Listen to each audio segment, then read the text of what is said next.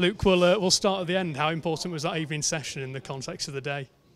Uh, well, yeah, I mean, anytime you get eight wickets in, uh, in a session, it, it's, it's a good end to the day. So, um, I mean, from my point of view, credit to Ben Slater to, to get 100 out there. It was tough conditions to bat in, and um, you know he continued his form on from Worcester, so he set the day up nicely for us and give us bowlers a chance to, to something to run in at, really. What does it demand from you as a as a bowling unit to fight back like that in the evening session and, and come out with such a good result from the day? I think it's just patience, really. I mean, you, you know, you try and back each other up and bowl as a as a unit, and I think Stuart set that off well, and then Dane, who replaced me, and came on and picked up a few wickets, so and, and so on. So yeah, you just try and back each other up.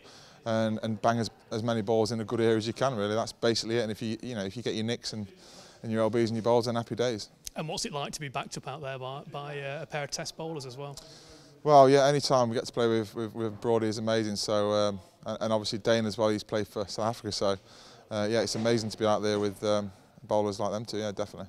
And the run out, you were only saying you've not really um, enacted many run outs, but that's two in two weeks now. I know, I know. I think I've got three in my whole career and I've got two in two weeks. So, uh, yeah, crazy, but um, nice when it comes along. And what about Ben Slater as well? I think that's his fourth hundred in his last nine games. What um, what do you make of his consistency in the last season or so?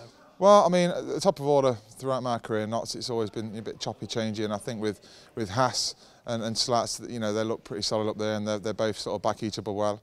Um, and yeah, I mean, like I said earlier, I mean, Slats continuing his form from Worcester in completely different um, conditions, you could say, um, was you know credit to him, and he, and he, he set this game up for us. And having lost the toss this morning and had a day like we've we've just seen unfold, what's your assessment of where the game's at after one day? Uh, well, well, let's have a, have a, good night's kip tonight and come back and try again tomorrow. Uh, I don't want to say too much because uh, you know four-day cricket can sometimes bite you in the backside a bit. So yeah, we've had a good day, day one, we've got, we've got to back it up tomorrow.